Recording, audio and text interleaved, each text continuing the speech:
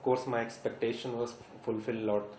Uh, we have a practical demonstration on mannequin and uh, live demonstrations uh, for two days in which I was benefited a lot.